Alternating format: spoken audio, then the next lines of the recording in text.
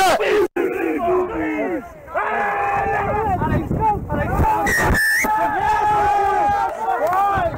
Good side, red. Shoulder down.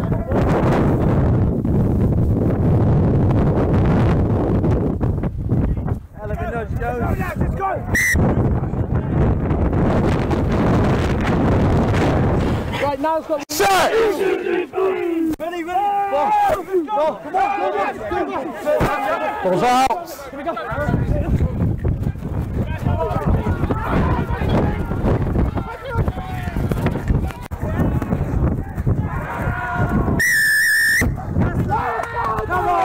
Unlucky, good effort. Tackle! No hands, red! There go.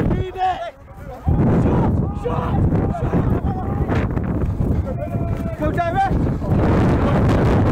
Side, it's off. Two. First offence, two. Oh, was it me then?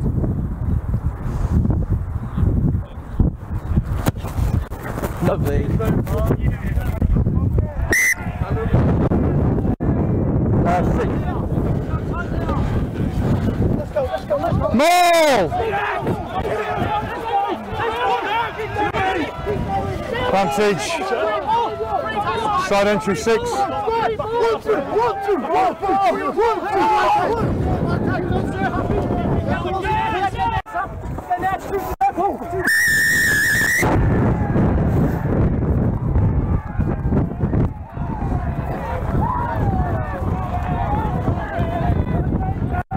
Six.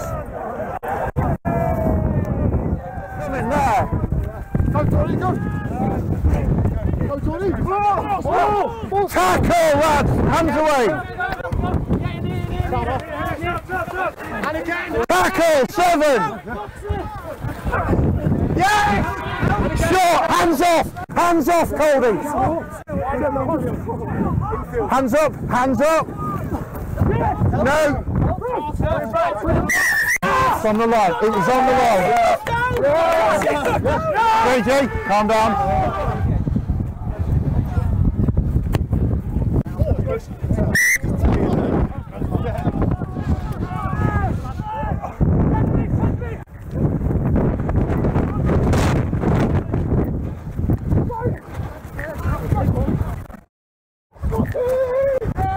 Happy?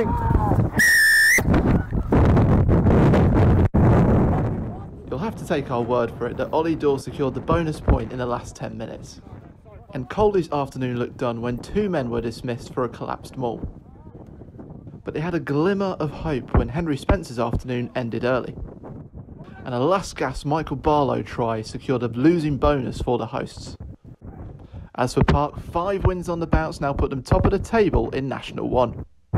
Hey, Caldy has been a, a tough place for Park to come, but today a really good win. What were your thoughts on that performance? Uh, it was gritty. Um, we played the conditions as well as we could.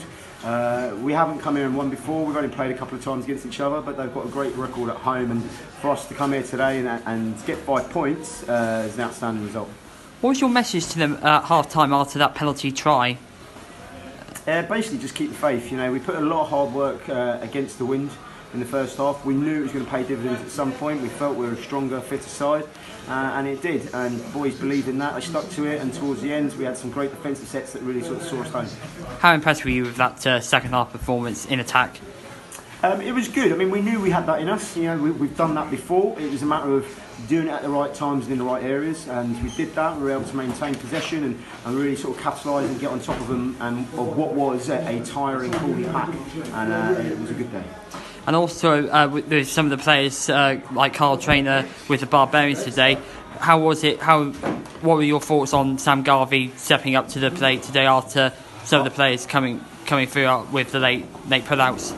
I think you know someone like Sam Garvey with a lot of energy came off the bench at half time or just before half time uh, was carrying well, tackling well, scrummaged well. He just gave a little extra boost and a, a little bit more in the tank for the rest of the boys around him and spurred others on. So it was great to see him do that. And it was probably you know really good thing that Carl Trainer went to the Barbarians. And uh, Chinnor next week. What are your thoughts to moving to Chinnor next week? What are your thoughts on that on that game coming So, up? I mean, look, it'll be good to get back home, but uh, you know, the last two weeks have been pretty hectic. Uh, we'll lick our wounds, we'll have a look at it, and we'll go again. But Chinnor, you know, last season we, we drew them at home and we lost away, so we've got to turn up and next Saturday and make sure we're ready to go. KP, thank you. Cheers.